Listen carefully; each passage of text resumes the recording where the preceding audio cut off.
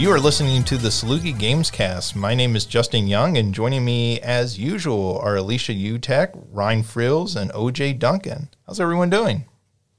It's actually been a pretty good day so far. Quite well. I'm having an amazing day myself. How about you, Justin? that sounds great. I'm glad everybody's having an amazing day. I have had a very busy day. So it hasn't been bad. Uh, and I guess it's actually been good because the reason I've been busy, I've been um, getting lots of inquiries about playing for pets, which is this Thursday and Friday. And so that's kept me very, very busy all day. I feel like I've sent more email today than I've sent in the last month. So, um, you know, it's not a bad problem to have. At least people are interested. It would be much worse if nobody was writing me back or calling me or whatever. Um, so, how's the last week been?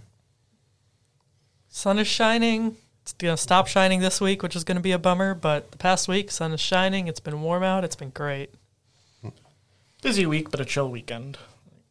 Yeah, I have a I don't have a day off until the middle of May, which is entirely my fault. But uh, so it's been pretty busy, but but good.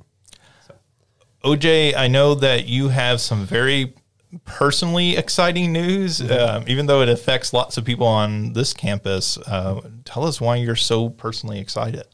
Okay, so uh, I I have been the representative for the Graduate and Professional Student Council um, at SIU on the Traffic and Parking Committee, and for the past, so I've been there since uh, 2018 2019 academic year, and be- the people before me there too have always been pushing for the same thing, and that is for graduate students to be able to get blue stickers on campus to park in like the faculty parking lots. Um, we have very little control over our schedule and the locations where the classes that we teach and the classes that we take are. So I've had um, some of my constituents who had to go completely across campus back and forth um, in 10 minutes back to back. Um, so we voted today to allow graduate assistants that have an appointment on campus to get a blue sticker um, to park in those faculty parking lots. Um, so that's a huge, gigantic win for graduate students and a recognition of all the stuff that we do on campus. Yeah, I know that uh, Jody, who's in our class, has talked to me about the fact that her husband has to come pick her up and drive her across campus to get to the class that she's teaching from the class that she's taking in the like 10 minutes in between those, which, mm-hmm. you know, I always think like on a campus this big, you know, getting from one end to the other in 10 minutes is an astronomical feat. Oh, absolutely. Yeah. Yeah. No, I had to relocate one of my classes this semester because I was going straight from being a student in one building to teaching on the seventh floor of the library in 10 minutes. And I was like, I can't do that. I will, I Yeah. will literally die. Mm-hmm. Yeah, and students, uh, before we get our classes like given to us, where we're assigned to one, students are signing up dependent on where the class is. So if we change where it's located, sometimes we lose students who had to take it in that certain building because they're also fighting the same thing too. So this will really, really help us, so we don't have to change that and make things better for all students. Well, I mean, it sounds like potentially a win all around. So let's hope that that all works out and everything. And that's exciting when you've worked on something for a while to have it finally play out and pan out and everything. Um, we'll go ahead. I mentioned playing for pets. Uh, I'll go ahead and talk about it here at the top. This Thursday and Friday, April 7th and 8th, we will be doing a 24 hour live stream, 12 hours on each day of SIU faculty, students, and staff playing video games together to raise money for St. Francis Care, a local no kill animal shelter here in the Carbondale area. Um, if you are an SIU faculty, staff, or student, you can come join in. Uh, just show up and everything. It's room uh, COM 2010 um, on those days. And if you are not here local or not a student or not faculty or whatever, you can also tune in and watch it on playingforpets.com. And we'll be live streaming that. It'll also be on our social media streams as well. So uh, definitely tune in for that. That'll be fun and exciting. But let's get to some video game news. So we've been talking about this one for a few weeks um, about the new PlayStation Plus tiers. They actually finally got announced. So we actually know what they are. There are three tiers going from currently one with PlayStation Plus. There is the essential, the extra, and the premium tier. So the essential tier is basically the current PlayStation Plus service, you're going to get two games a month uh, free as part of this service. It also allows you to do online play and everything, and it's going to be $60 a year. I didn't include the monthly prices because I don't think many people subscribe to these on a monthly basis. Uh, but the monthly basis is considerably higher. I think it's $10 a month for this. So you are saving basically 50% by paying in advance for the year. The extra tier is going to give you all that's on the essential tier, plus a catalog of 400 PS4 and PS5 games. Um, so that's going to be basically sort of what PlayStation uh, Now is currently and everything. You can download those games. Uh, that is a hundred dollars a year. Then there is the top premium tier, which is going to offer you 340 or so additional games on top of those 400 games.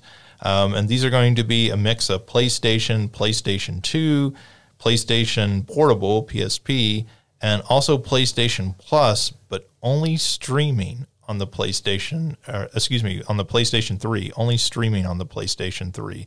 So you cannot download those. The other ones you can download and run locally on your system. Uh, there'll also be some free game trials as part of that, uh, but none of these include day and date first party releases like Xbox Game Pass does.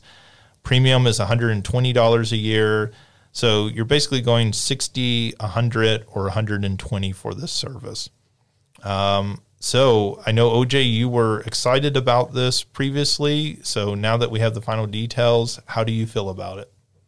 Um, I feel good. I'm currently paying more than 120 a year, I believe, for PlayStation Plus and the PlayStation Now. So um, it'll be a little cheaper for everything that I'm getting. Um, I am a little upset that the PS3 games are only streaming though, um, because I have there's a few of them that I want to be able to download and play, and I, the PS5 can emulate a PS3 very easily. I'm assuming. So I I'm still not sure why exactly we can't download those, uh, because I really want the DLC on some of them. Yeah, that seems odd to me that PS3 would be streaming only. So my understanding is it has to do with the um, the hardware architecture of the PlayStation 3. The PlayStation 3 is not built off of, I guess, what we would think of as normal standardized hardware uh, with other systems. Um, you know, most game systems now basically either run off an, an ARM chip like your cell phone does. So mm-hmm. that's the switch uh, or um, are running off of basically a, a 46 architecture like your PC does. Mm-hmm. And so that's the PlayStation 5 and Xbox Series X. The PlayStation 3 ran off of a custom chip called the Cell chip, um, which at the time was Sony's argument that they were going to, this chip was going to be embedded into everything that you bought.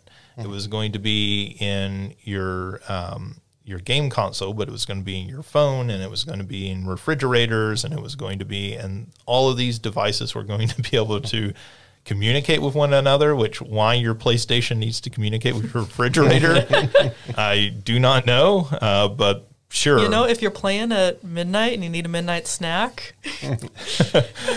I mean, you know, what World of Warcraft had that where it was what slash pizza where you yeah. could type that and order a pizza from Pizza Hut within the game and everything. so um, you're you're not too far off with that. and yet still Teenage Mutant Ninja Turtles doesn't have it. Right. right. not yet. I mean the game's not out yet, so they could always change that. Um, yeah, so I, I, think that's the main reason that different architecture, though OJ is right, the, you know, you can art, you can emulate a PlayStation 3 on a PC now uh, fairly well, um, mm-hmm. you know, and so it, it still seems like a weird omission, particularly when um, Microsoft has made all previous Xbox games, or at least generations, if not every specific game, uh, backwards compatible on their system. Mm-hmm. I don't know. Is, I, is the either of the other two of you interested in this? I would definitely be interested.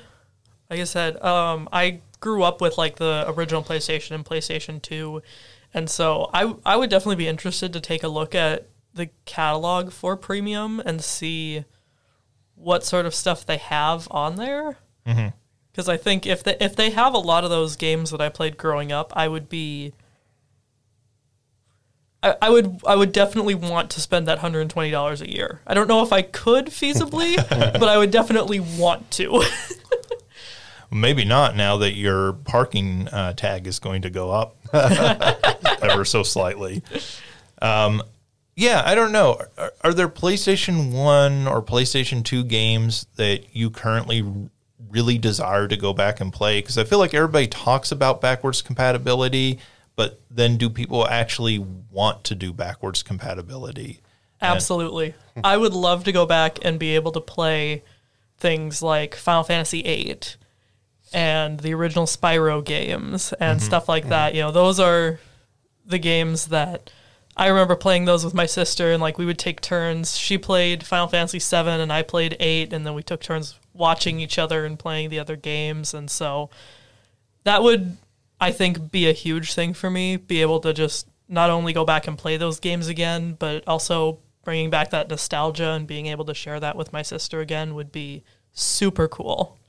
And I think also even the PS2 games cuz our PS2 rest in peace. It lasted us a long time, but I, we haven't been able to turn it on for the past couple of years, and so a lot of those games, you know, the Sonic games and the early Kingdom Hearts games and stuff like that, I really miss playing those. Mm-hmm. So I I would I would love to be able to go back and play those again, and having that backwards compatibility would be really nice. Yeah, I'd like it too. Um, there's like a bunch of game. A lot of it's for games I didn't really get to play back in the heyday, like for whatever reason. Like I, I just didn't have an interest in the Silent Hill games back then. Now I do. Um, so it'd be cool to go back and play those. Uh, that that would be my main reason. It's just my still issue is like I still need to. I haven't bought a PlayStation since PlayStation Two. It's been a while. I've been using either Nintendos or Xboxes since then, um, and just it's still a good penny. Um, but yeah, it it makes it more tempting for sure.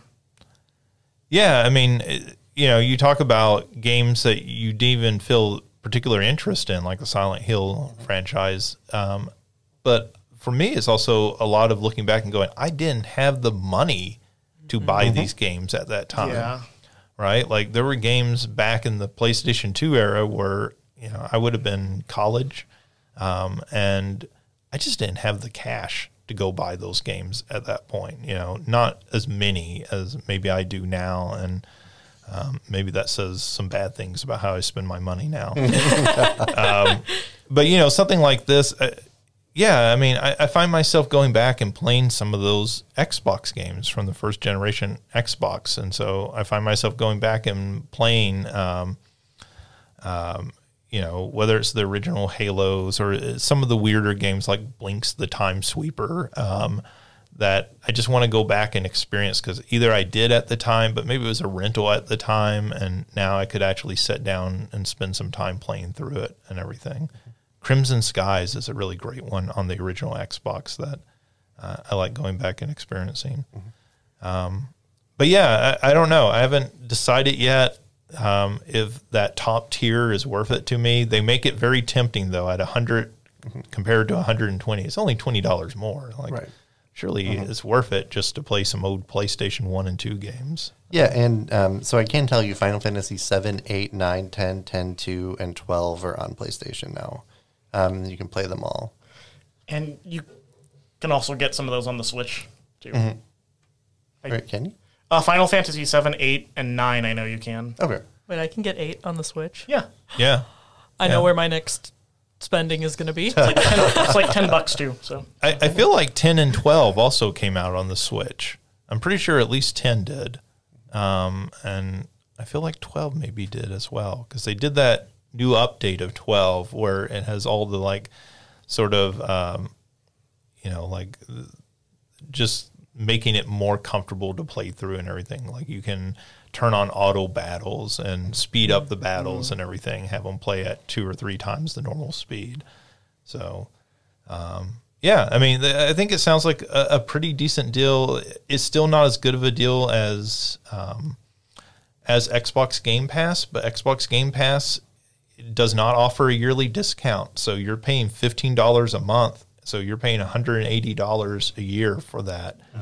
Um, and, you know, again, if you only buy three games a year, that's completely worth it if those are first party Xbox games. But, you know, this is slightly cheaper and it should be slightly cheaper given that it's not offering those first party titles. Um, all right, we talked about this and said it was pretty much already as good as gold, but it is official now. E3 is canceled for 2022. So there is no in person E3, no digital version of E E3. E3 is just dead for this year.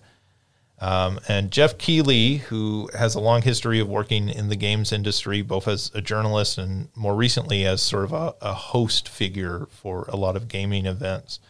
Um, he, a few years back, started what he called the Summer Games Fest, which um, is sort of a, a digital stand in for E3. And he has stepped up and said, hey, we're still doing it this year. So it looks like most of the game news and announcements and everything will be centered around Summer Game Fest.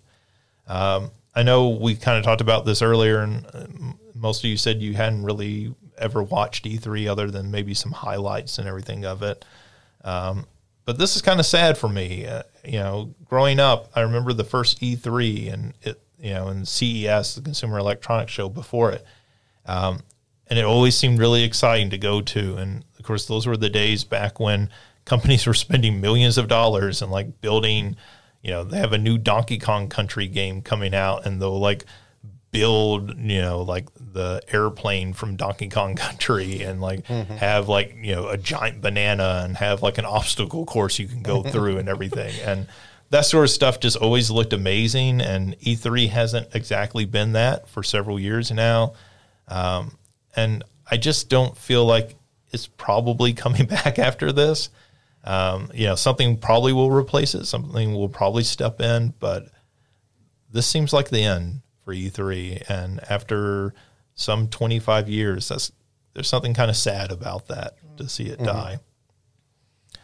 Uh, speaking of PlayStation Plus, they have announced their games for April. So if you are a subscriber to PlayStation Plus on any tier right now, because there is only one tier, um, you get the games Hoods, Outlaws, and Legends uh, Slay the Spire, and SpongeBob SquarePants Battle for Bikini Bottom Rehydrated, which is their sort of remake of that game. Um, I think that's originally like a PlayStation 2 game. So it's a it's a pretty good looking remake and everything of it. So I had no idea what Hoods is. that game the title it feels like the more you read of that title the less ideal you have what that game is because when it's right. like hoods you're like okay i could think of a few things that might be about and then outlaws okay so one of those i'm kind of centering on and then and legends i have no idea what it is so um, check those out. Meanwhile, on Xbox, their uh, games with gold for April include Another Sight, Hue, Outpost Kaloki X, and MX versus ATV Alive. So that last one is a um, you know a motorcycle versus ATV racing game. Um, some of those in the past have been good. The ones that I think the name of the studio was Rainbow Studios used to make for the PlayStation 2. Those were really fun games, but I haven't played too many of those MX ATV games lately. I know Hue is pretty neat, and then the other two I've never even heard of. I have no idea what Outpost Kaloki X is. Is that an anime thing? It's not one that I've heard of. Me neither.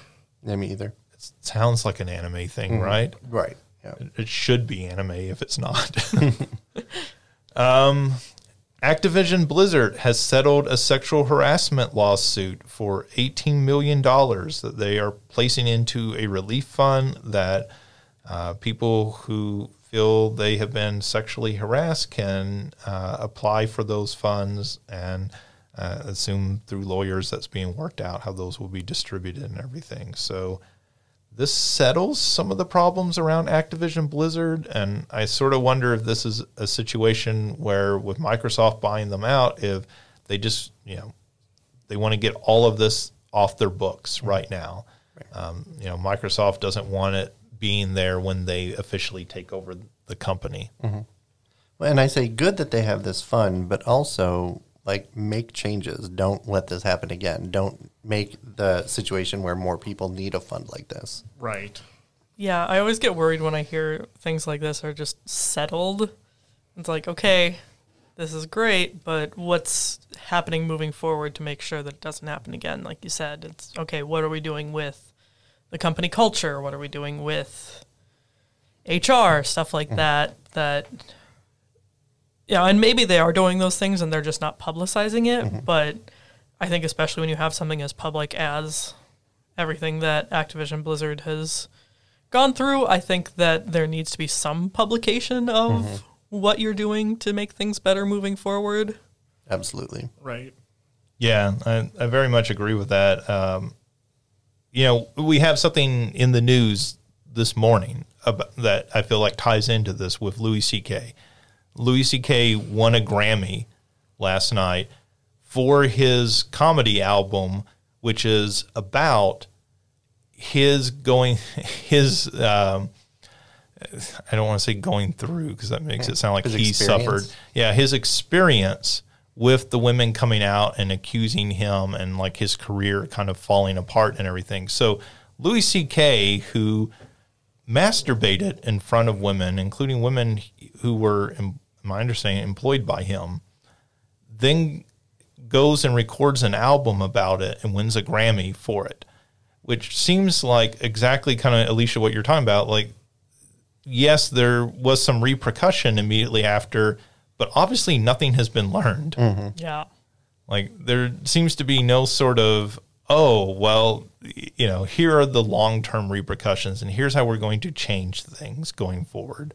Because it very much feels sort of like that in this situation without any sort of public statement about here's what we're doing to make things better. And e- even that, right? That's, that's, that's PR um, you know, it, it will really matter how the employees there on the ground working in Activision Blizzard say that things change. Yeah. So, um, all right. So here's here's just an insane story. Um, I feel like this is the craziest story of the week.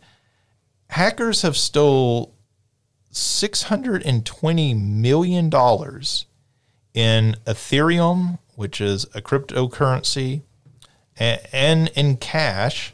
Uh, I believe it was something close to s- 600 million in Ethereum and about 20 million dollars in cash um, from the Ronin network, which supports blockchain uh, NFT game Axie Infinity. $620 million, half a billion dollars that they stole from this game. Um, so, if you're not familiar with NFT games, you know, NFTs are basically non fungible tokens, is what NFT stands for. And the ideal behind it is that you could buy something digitally and have uh, permanent possession of it uh, that would travel with you. You could move it to somewhere else. So theoretically, if you bought something within a game, you could take it and move it to a different game. That's never going to happen because everybody wants to get their cut. So there's no value for companies doing that. But that's the ideal. The other idea is that uh, you know, if you were playing a say a Pokemon game digitally and you got a Squirtle card that would be an NFT and you could actually sell that to another player. Now, we already have auction houses within games, particularly MMOs, where you can take an item and sell it to somebody else, and that's not an NFT. And the big difference is that NFTs uh, use a whole lot of processing power and are horrible for the environment. So they're a bad thing to begin with. But this game had $600 million worth of value in it that somebody could actually steal it. And there's no way to get this back. Like that's the value of an NFT is that it is a singular item that once you have it, you have possession of it. So there's no, there's not necessarily any way to recover this. And, you know, I think that's a, a pretty scary thought process because right now, if um, you know, if if you lose an item within a game, you can contact whoever runs that game and potentially get that item back in you know in World of Warcraft or something. Let's say. In this, you're just kind of out of luck, and it may not even be something within the game that's happening. It may be people robbing the game, you know, via hackers. So I didn't know um, if any of you had been paying much attention to NFTs and their integration into video games. I have been only enough to know that they're terrible and to not invest in it. And this has just cemented that. like, definitely don't want to now if it's that easy to just lose it all. Right. Out of one- of the arguments is always that, like, oh, no one can take it from you. You own it. You have that part of the blockchain. It's all yours. Nobody can take it from you. Psych. Yeah. And now it's like, oh, here's $620 million worth of, um, like, Ethereum and money um, in here. Just take it and they can't get it back. So, oops. Like, That's Yeah, I mean, it, it just it seems like such a, a bewildering use of technology where, you know, from the outside looking in, this just seems like such a horrible idea. And now we see it playing out in real time, you know, example after example of just how terrible of an idea this is. At Game Developers Conference, which was last week, week before, um, I know they said on the show floor there were many, many tables set up about NFTs and using the blockchain for game development. And this, you know, the actual game developers are very anti this. Um, this is usually coming down from on high from the corporate executives. And this just seems to be more fuel to the fire about why game developers and players are all against this. It is only corporate executives who are gung ho about this. right. Which now that money's now that all the monies have been taken, maybe corporate executives will kind of back off. Hopefully, probably not, but probably Yeah. we not. hope so. I think probably not. Um, you know, our our previous story about Activision Blizzard learning the lesson, you know, Yeah. I think kind of shows us they they just don't learn sometimes. Um, Zelda Breath of the Wild 2, that's the working name, that's not an official title, um, has been delayed until spring 2023. So, any disappointment over Zelda getting pushed back yet again? I'm disappointed, but I'm also like happy that they have more time um, for hopefully a better product. Because I was assuming it would be good anyway, but they have more time, even better. Yeah, Right. it's a bummer, but it's something like I think I'm willing to wait for. And my head just went into Hamilton music, but I'm not gonna sing it. Yeah, I'm I'm happy to wait for it. Plus, we like there's plenty of good stuff to play till then, so I'm I'm not upset really. I also say too, the Breath of the Wild community online is still super active. Like, if anyone's familiar, there's a Twitch streamer slash YouTuber called PointCrow who commissioned finally getting a Breath of the Wild multiplayer online, and it is finally good to go. Like, people can start playing it now. So, I feel like there there's still things, there's still content for Breath of the Wild that is there to enjoy and explore up to this point. Yeah, and you know, of course, I think most people would rather them take all the time that they need. And earlier, we a few weeks ago, we talked about they announced the new Pokemon game. Is it Generation Nine? The new- Generation 9. um, and that game is coming out this fall. So it feels like Nintendo doesn't need uh, the Zelda release this Right. fall. Like their calendar is going to be full enough. You know that will be their big ticket item this fall. That'll be their you know game that sells 20 million copies within a month or something. Yeah. like those uh, like those games tend to. Um, we talked about Fortnite adding a zero build mode. So when their new season began, they uh, cut off all the building. You couldn't build anything anymore. You just had to run around and shoot. And they have now added this as a permanent mode into the game. I think at the time I joked about, I think, you know, they'll just roll this out and this will just be the game from here on out. it's not going to be the game. It's going to be a mode within the game. So if you want to play Fortnite and not deal with having to build a skyscraper every time you try to shoot somebody, which I feel like turns a lot of people off from that game who might like other uh, battle royale shooters like Apex Legends and that sort of thing. Um, this is going to stick around, and I think it might be popular. I think it's a good idea on their part, even though I'm not really a Fortnite fan. I still think this is smart. Yeah, if I, I mean, I don't. I'm not gonna lie. I don't want to play Fortnite anyway. Um, it's just not that fun to me. But I'd probably prefer this because, like, I've tried. I think the building stuff is cool in theory. I just don't like how it feels and how it plays when I'm playing it. It just it feels like really clunky and finicky, and I'm just not too keen on it myself. I also just don't want to be playing a game where I'm trying to shoot another player and some seven year old is controlling it and building like the Sistine Chapel around themselves. Because I feel like it's bad enough that the seven year old is shooting and killing me, but they don't have to rub it in while, you know, showing off their architecture degree at the same time. So, um, yeah, I mean, I think it certainly can only help that game uh, by adding that in. Um, indie studio uh, Funomena. I don't know how to actually pronounce their name. Um, they are the developers of Wattam, which uh, was a game that was forever in development, but it finally came out. Um, it's by the uh, developer of Katamari Damacy. Uh, if you ever played that game where you're rolling around a ball and rolling up all the environment into this giant ball. Um, but Wattam's a pretty good game, but the studio is now shutting down. Um, and this is it seems to be directly tied to a video that came out from the YouTube channel People Make Games, uh, particularly one done by Chris Bratt, um, not not Chris Pratt, not the Guardians of the Galaxy or Mario voice guy. Or Garfield. oh right, he is doing Garfield. That's that seems like the worst one of all to me. I mean, we had Lorenzo Music doing Garfield, like great voice actor, and you know, uh, Chris Pratt's fine. He just he's not like the most talented voice actor. I don't feel like. Um, or actor. And also has his own toxic behavior.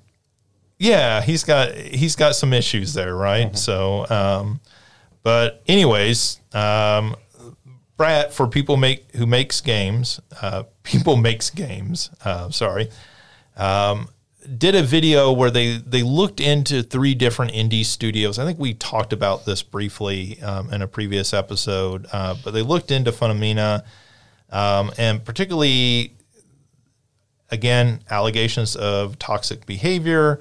Uh, this centered around the co-founder uh, Robin Hunicke, um, uh, who apparently uh, people have accused her of emotional abuse and humiliation. So there were stories about um, there were stories about people like opening up to her and talking about their relationships, talking about their sexuality, and her then dropping this during the middle of meetings with multiple people around. Jesus. And um, and so that's where this is apparently all coming from. Those are the allegations. Again, you know, um, we don't we don't know 100% whether those are true or not, but you know, they're pretty serious allegations and pretty bizarre allegations, not, you know, some of the ones that we're used to.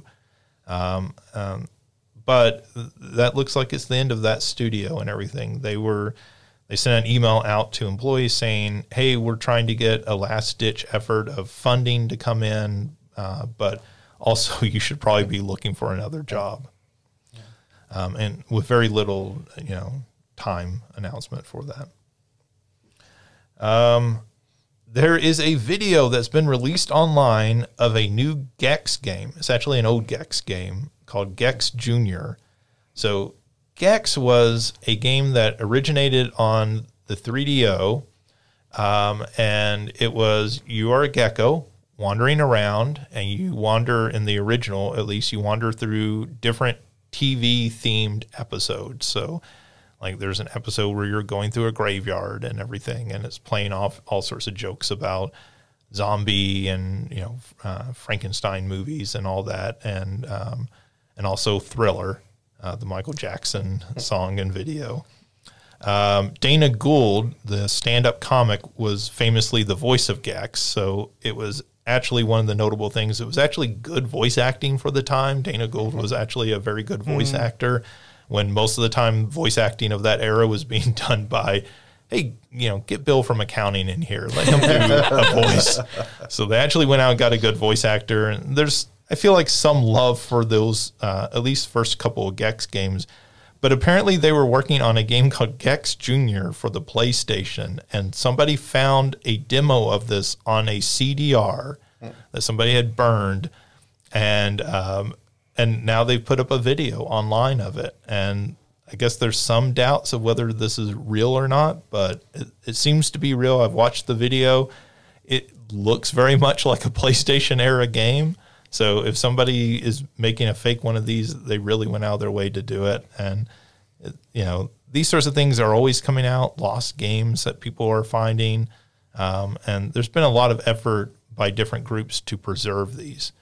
You know, so that they can back them up, and even if they're not putting them online, they're putting them out there um, into an archive so that they can save them at least. I know the Video Game History Foundation. I think I've mentioned them before on this podcast they were talking just this last week about now whenever somebody gets a very rare cartridge or prototype cartridge uh, grade it by one of the national groups that does grading on those like you would grade a baseball card for example um, that they go through the video game history foundation and as part of their deal they back up that game and they store that backup in their archive. So even if the person buying it doesn't want that game released publicly, they still have a backup in their archive. So theoretically, that game will never be lost and everything, which is fantastic work. Good for them.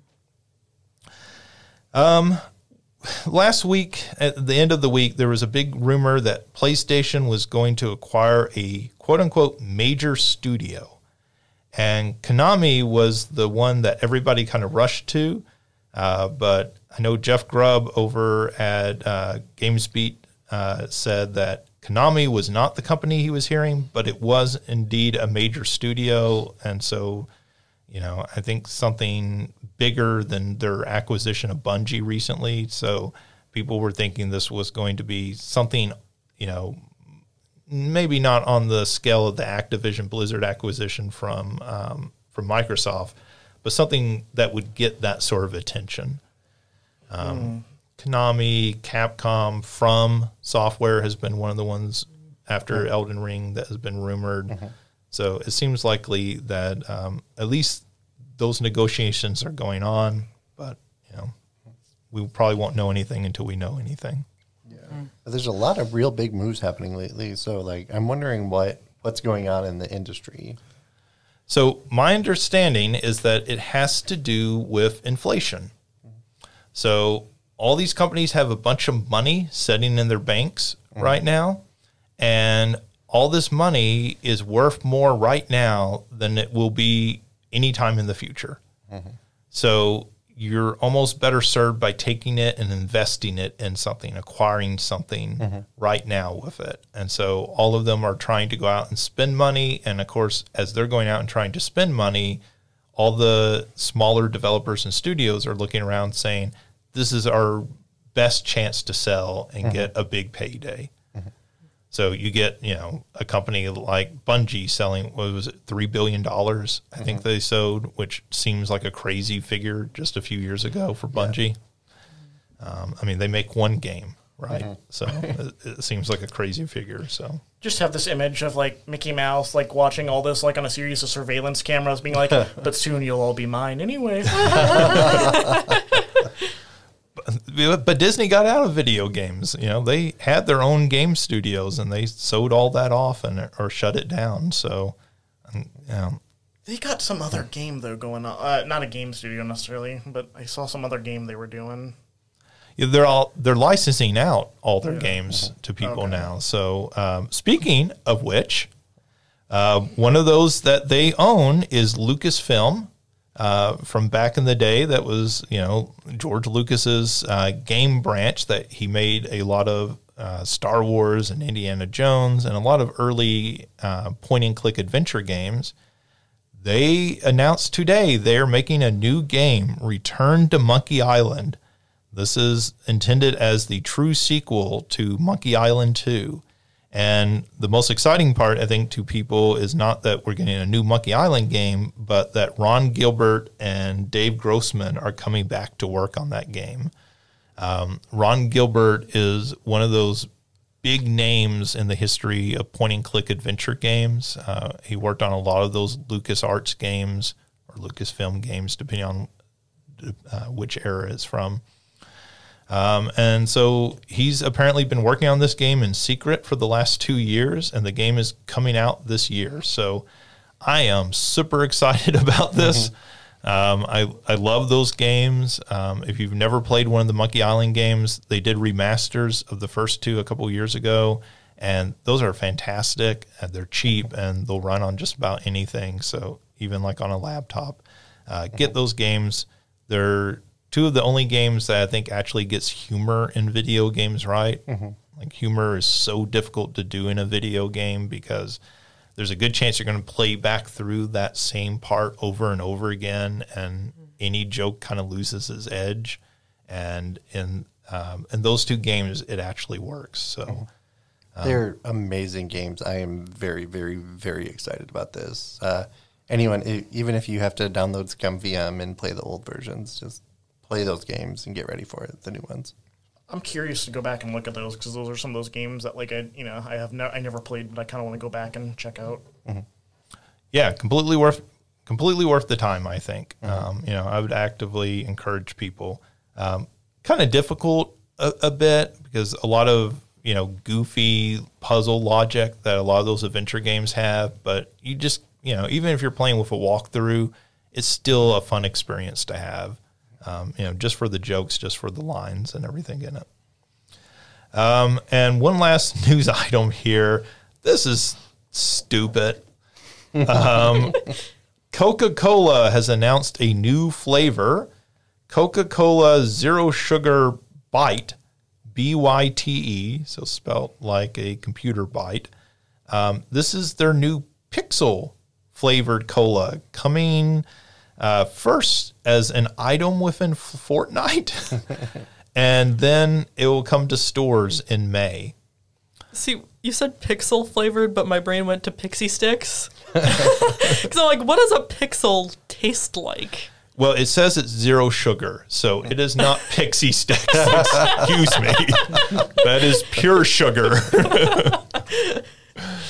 But seriously, what what does a pixel taste like? Like, does it does it change depending on the color of the pixel? Does it just have a single taste? Like, I don't know. Last week we talked about if uh, Kirby ate you, what would it be like?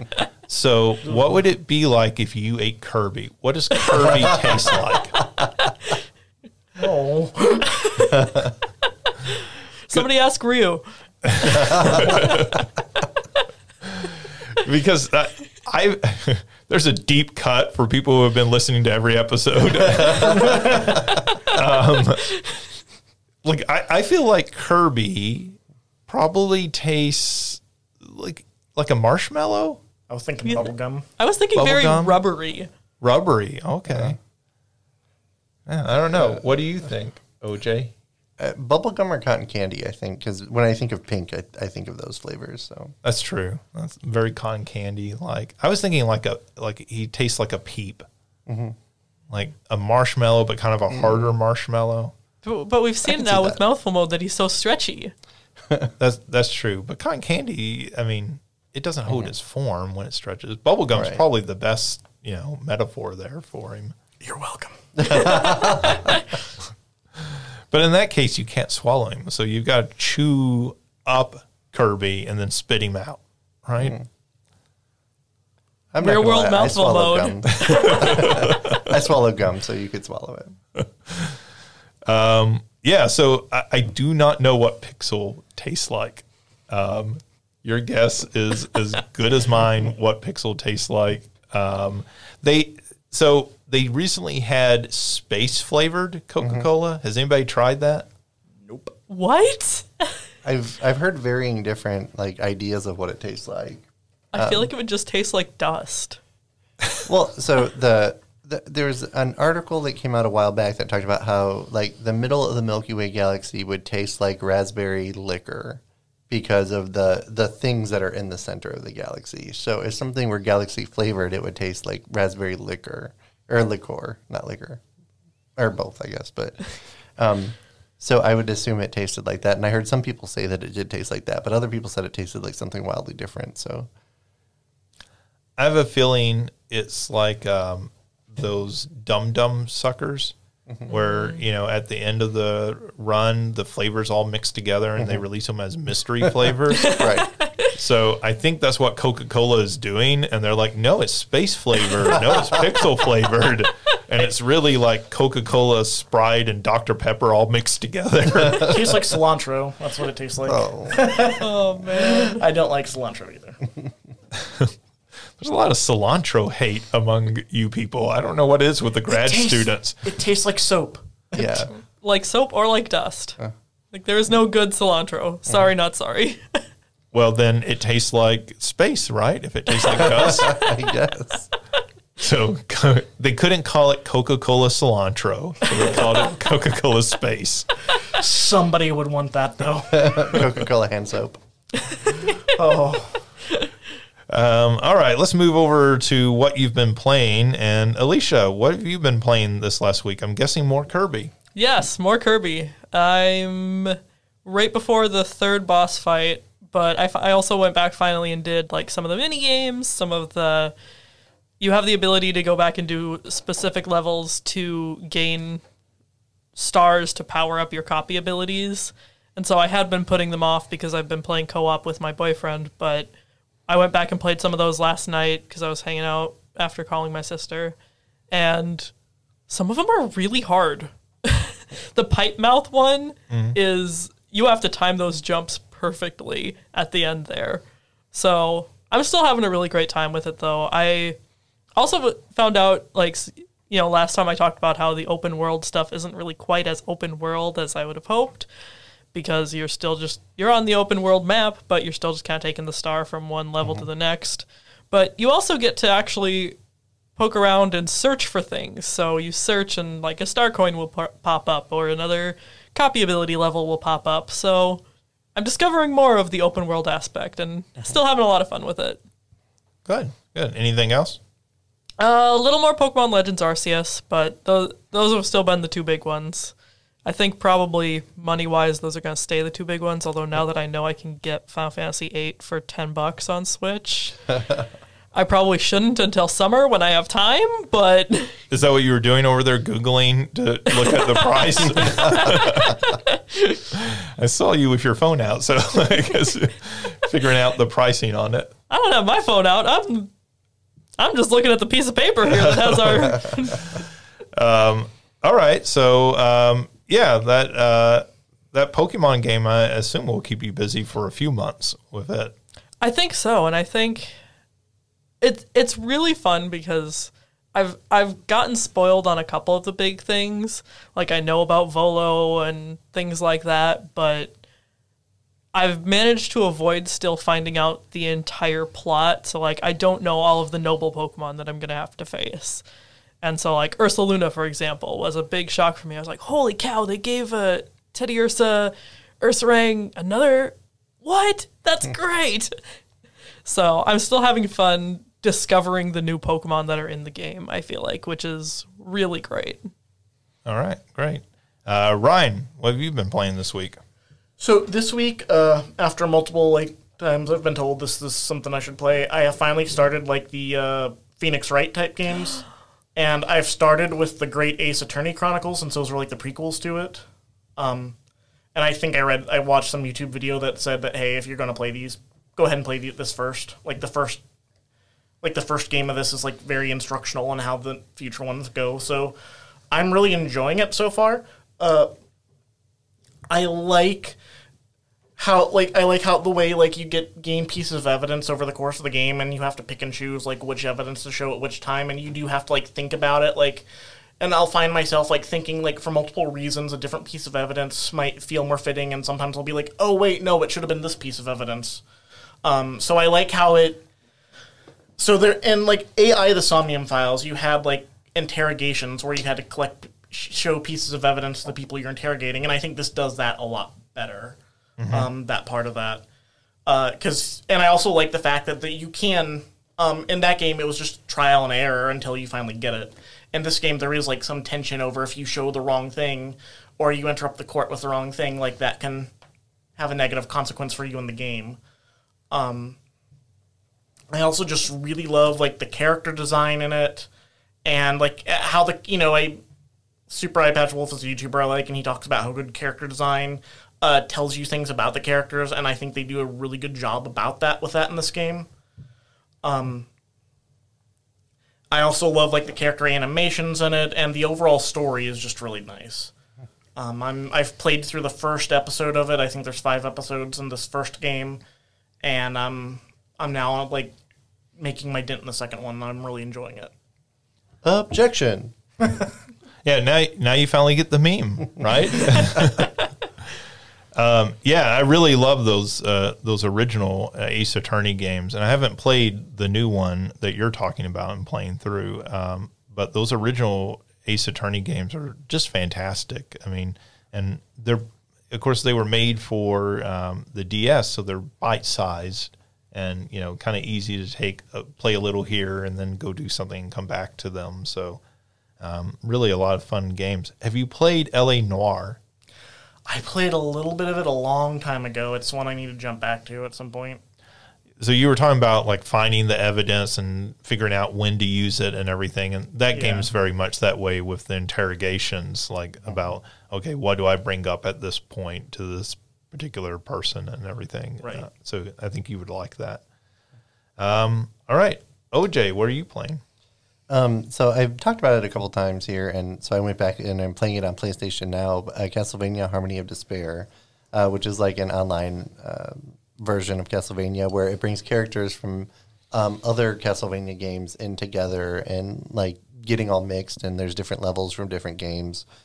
Um, so my favorite character has always been Charlotte, and she absorbs the spells from the enemies.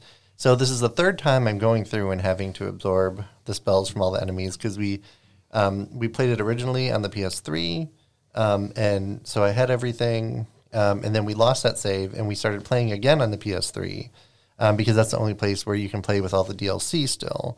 Um, and then our PS3 isn't working very well, so now I'm doing it on PS Now in hopes that they will give us the DLC at some point in the game because they only have the first DLC.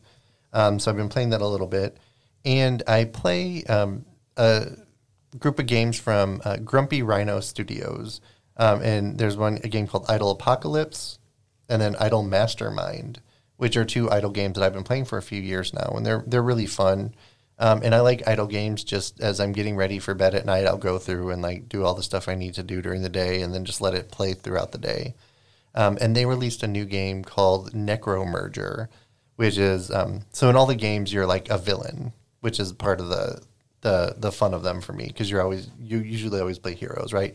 But you're always the villain. You're a mastermind that's taking over the city, um, or you're like the head of an evil um, like doom cult that's bringing back like these. Um, uh, like big monsters to destroy the world, and you always fail because you know they're they're not very good villains, right? So in Necromerger, it's like a merging game, um, and you're you're taking you get all of these little things that pop up. Like there's uh, eye monsters and there's zombies and skeletons and werewolves and mummies and stuff, um, and you're merging them all, and then you merge them to make bigger versions of each one, um, and then you're feeding the devourer which is like this enemy and as you feed him more you like level up and you get more space on the playing field and stuff. It's really fun. I suggest all the grumpy rhino games and i think necromerger is early access right now um, but if you're looking for a good idle game idle apocalypse idle mastermind and um, necromerger is not really idle it's kind of idle but um, they're really good games and that's grumpy rhino studios And are are these available on mobile or are these PC? um, they're mobile so they're on android um, i think they're ios but i'm not 100% Oh well, let's check real quick and see. We All right. always look. If somebody else wants to talk while I look up, Idle Mastermind. Yeah, Idle Mastermind. Um, and they're, they're really fun games. They're they're campy. You're a villain, um, and it's it's just it's really fun within them. I'm just picturing this with like the old style James Bond villains, just being so over the top and Yeah. corny and So in, in Idle Mastermind, there's Doctor Doss, which is like an old tech guy. He's a scientist. Um, he has his computer that's taking over. There is um, Yara, who is like she's um, kind of like a mob boss, uh, and then there's um, LOL, who is like if you think about like a a Joker type character. He has gas that he's using to like take over the town and stuff like that. And as you play through each of them, and then you take over the town and reset, you know, yeah. as idle games.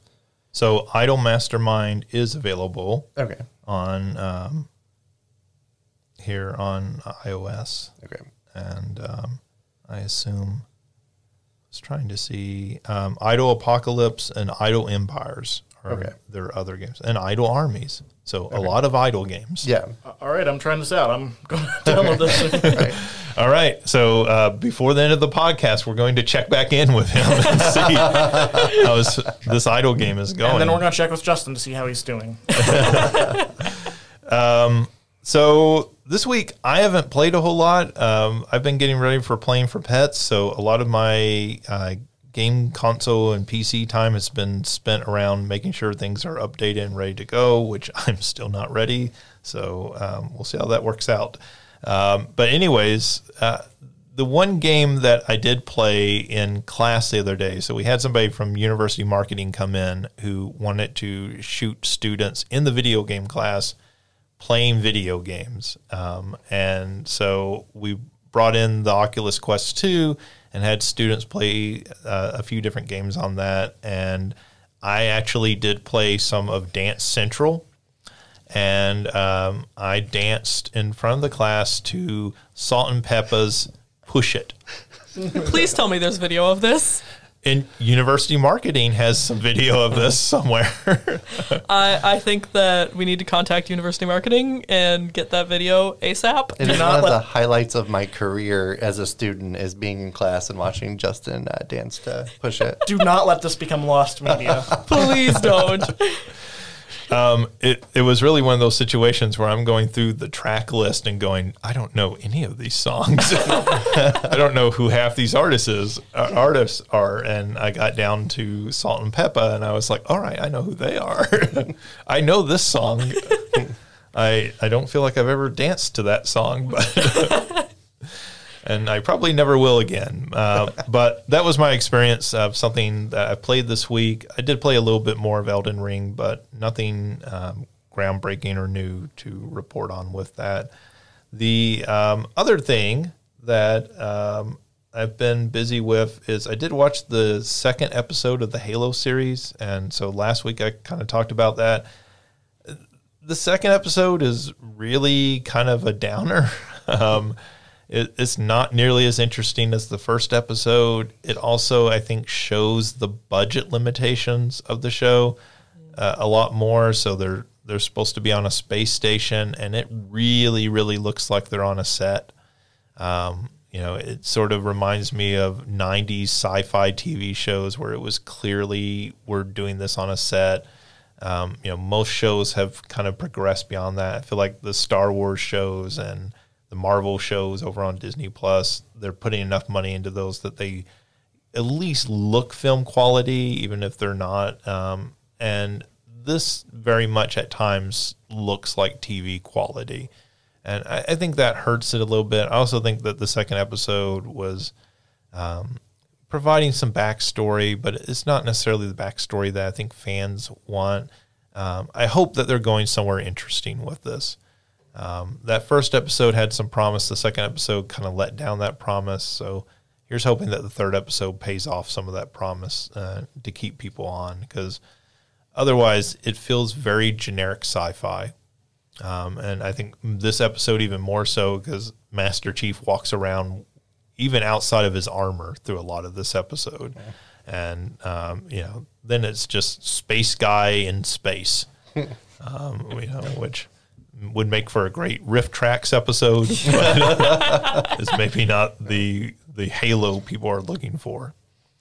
Um, all right, that does it for what we've been playing and everything. But our big question of the week is: Which game would you most like to see a sequel to? So, preferably something that a sequel has not already been announced uh, for. So, Breath of the Wild 2 doesn't count. um, all right, Ryan, what game would you most like to see a sequel to? Okay.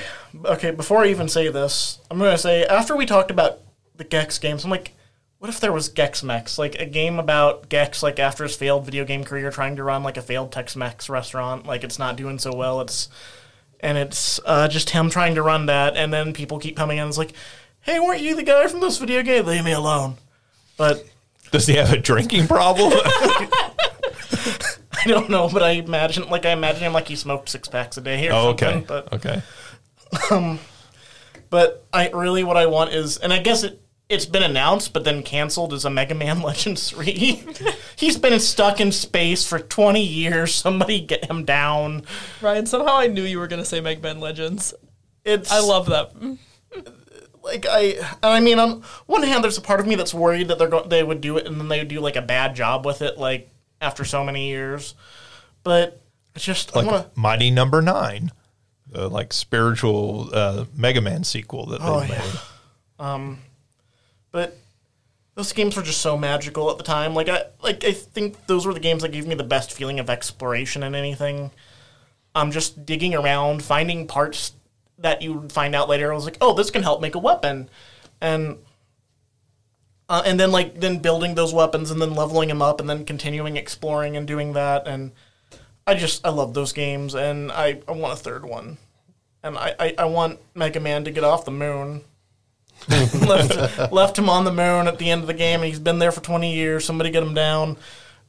We we cared enough about Matt Damon for some reason to get him down multiple times. By the way, let's get Mega Man down. Ground control to Mega Man. He's like uh, Doctor Manhattan, right? Isn't Doctor Manhattan on the moon, or is he on Mars? He was on Mars. I think. Mars. Okay. I'm thinking of um, the Netflix series. from Umbrella Academy. Yeah. That, Oh, yeah, That guy one. is Yeah. stuck on the moon, right? Well, he's well, off he now. was he pre was, pre show, and then he came back. Maybe he's stuck there, tired of cow. I'm tired of this company. Their their problems. Um, OJ, what game do you most want to see a sequel to? So I have been thinking lo- a long time about this, uh, and I think Final Fantasy VI, because we have. I mean, it's its own sequel in there because it has like the the World of Balance and the World of Ruin, um, and I think I would like to see a story after Kefka is defeated, um, and people like rebuilding finally after all of the change that happened with that. Um, so I would really like to see where all the characters went from there. Um, and I, I, I know there was a sequel to Final Fantasy IV, kind of like Yeah. after years with the kids. I don't want it to be like that. I want it to be like the full characters from Final Fantasy VI. Yeah, that that seems like one that they should do because that's one of the most beloved entries in the franchise. I mean, it's right up there with Final Fantasy VII and everything. I feel like, Yeah. Um, and so it, it seems like one that there would be a lot of desire for that, even if they went back and did it in the original sprite graphic style and everything. I would prefer it to be like that rather than like Strangers of Paradise type thing. So well, didn't they even do like an H like a two D HD remake of it recently? Yeah, they did those pixel remasters, and so they Yeah. did release that, and they actually for that went back in and changed some scenes, like uh, the the opera house scene they did in that HD 2D style. Um, so yeah, they've done some work, so you know they could just take that work and build off of it. Would seem like. Oh yeah.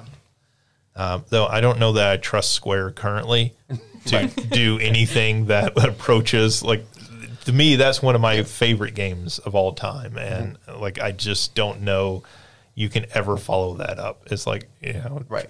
trying to make a sequel to your favorite movie of all time. Mm-hmm. You know they're going to mess it up on the process. You find one of your favorite characters is voiced by Gilbert Gottfried. And yeah, or Chris Pratt. Tara just keeps on saying chaos. I mean, that is now established canon. They could bring the Chaos Bros mm-hmm. into this game. Yep. Yep. So, Chris Pratt is Kefka. oh yeah.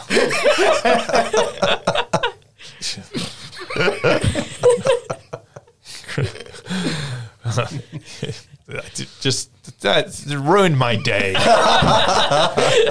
because they would so do that. They would totally go and do that, and you know, No. Real talk, you know who they should cast? Mark Hamill. Yes. well, Yes. yeah, he's actually good. He is Yeah. Oh, amazing. Oh, yeah. We've Like- seen him do Joker. We've seen him do Trickster. Mm-hmm. Skeletor. Mm-hmm. Yeah, just get just get Mark Hamill, and then it will be perfect. Mm-hmm. Yeah, but they they never would. They would never do anything that smart. That Square is. I I don't know if Square is stupid or like insane. Like it, it's hard to tell. Like they just make such bizarre decisions lately, and Maybe they're who Sony buying. uh, there have been rumors that somebody might buy them because they are not in great shape right now, and certainly uh, Strangers of Paradise did not help that. And so their, um, you know, their their Western development has been faltering, and their you know Japanese RPG development has been faltering. So there have certainly been rumors that they might be what's up for bid.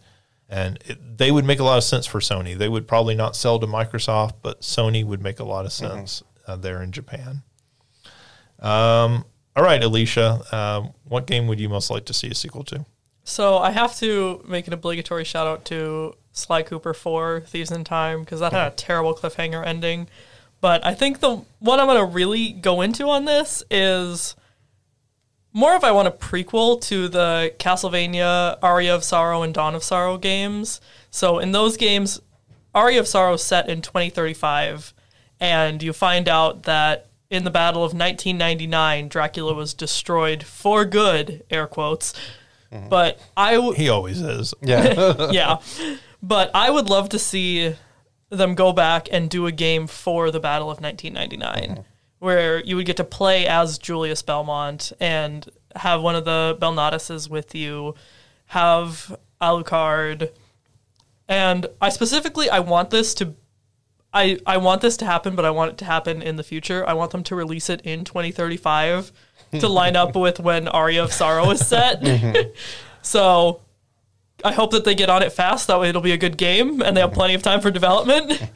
but that is the one 13 for me. years. Like, mm-hmm. that should be a very good game. And I'm like, I, I would accept it earlier, but just for the mm-hmm. poeticness of it, I want it to be released in 2035. Maybe they can do a reissue of it in 2035. a reissue, a sequel, give us something of Julius when he has amnesia. I don't know. but that's what I would really like to see. Mm-hmm. Because I think those are my favorite Castlevania games. You know, they were the first ones that I got into, and so having the chance, I think, to be able to go back and play as Julius and explore that would be amazing. Those are the Game Boy Advance ones, right?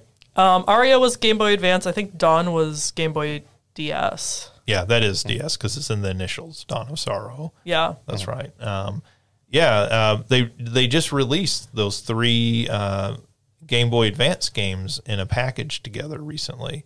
So um, if somebody has not played those games, you definitely should. Those are fantastic games.